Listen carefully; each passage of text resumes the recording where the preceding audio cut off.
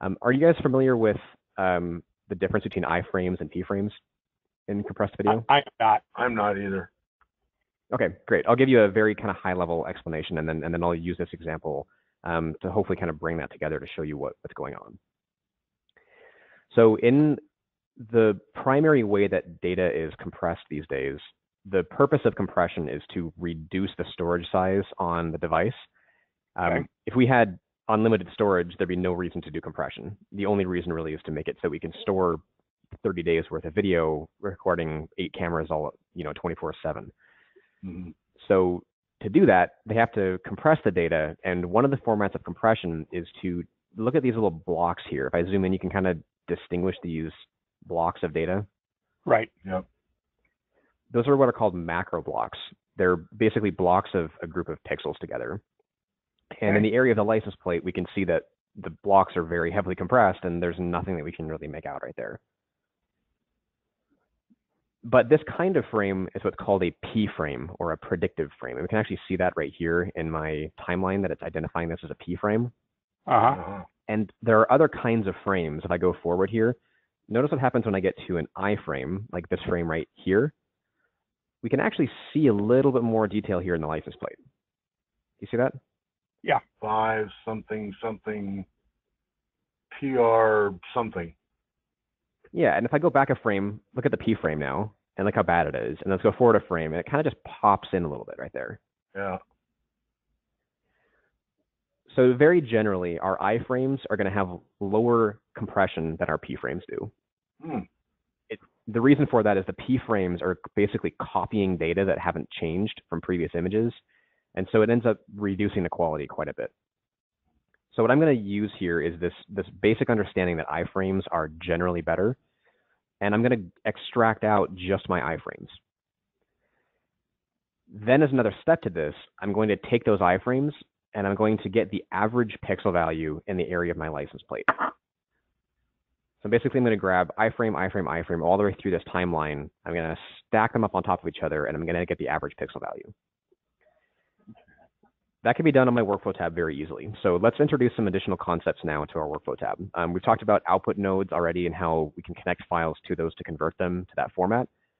But we also have various filters and advanced processes that allow me to process this file in a bunch of really cool ways. Let's start by applying a filter to resize my file. A processing node can kind of float around here in my workflow tab area, but it works the same way as an output node does. You can simply click on the input file, connect the dots, and now I've got my file getting resized. When I open up the settings here, I can actually see a preview of what this looks like, and I can change the size of this. So I'd like to double my size, just to double up the, the all the pixels. And I can do some math in my head to multiply 352 by by times two, or I can just type in times two. We make it really easy for you. You can just write math directly into here. So now I've got a twice the size image.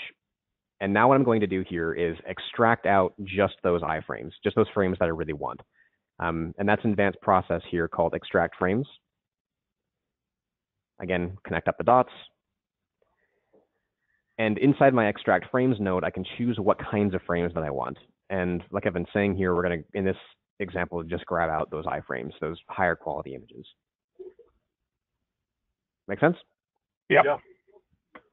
The very last step now is to do another advanced process to average the frames.